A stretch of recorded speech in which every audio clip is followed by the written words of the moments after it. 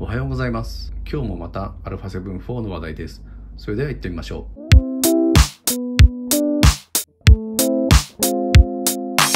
はいこちらなんですけれどもまだこれ実はリグをつけてないんですよね。リグを買おうと思ってたんですけれども毎回スモールリグだとちょっと面白くないなと思って今回はちょっと違うものをチョイスしてみました。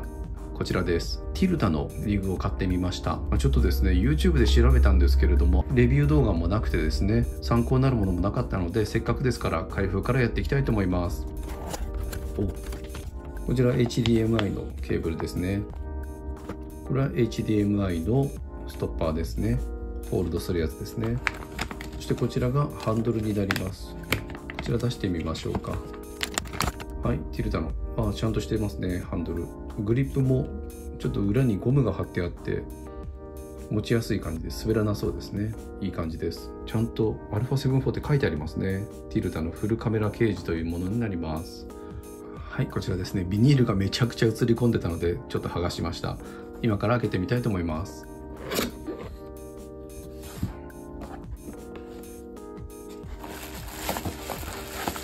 おおおなるほど。こちらは工具とかマウントフォルダーですね。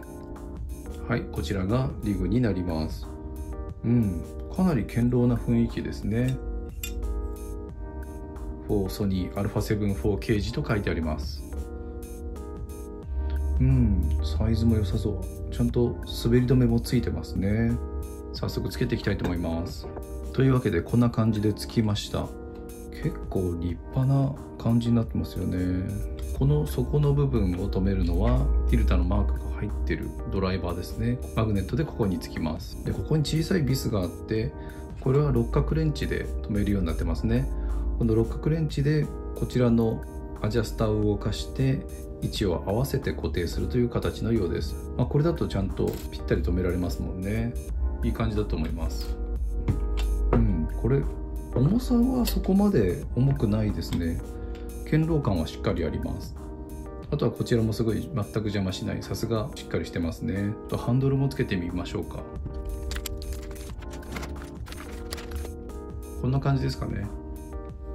おおなかなか持ちやすいですね。ちょっとこれで大きめのレンズをつけて確認してみたいと思います。というわけでちょっと大きめのレンズをつけてみたんですけれどもこれはですねやっぱこれは無理ですねさすがにお辞儀しちゃいますねこれだけで自立することはできなさそうですね、はい、前景としてはこんな形になりますうん、非常にルックスはいいですよね。ティルダグレーっていうちょっと独特の色合いのリグが欲しかったんですけれども、残念ながら α7-4 はブラックのみの展開のようです。それがちょっと残念でしたね。こんな形でリグをつけつつ、ハンドルもつけつつ、使っていければと思います。はい、というわけでいかがでしたでしょうか？今日はですね、ティルタのリグをつけてみました。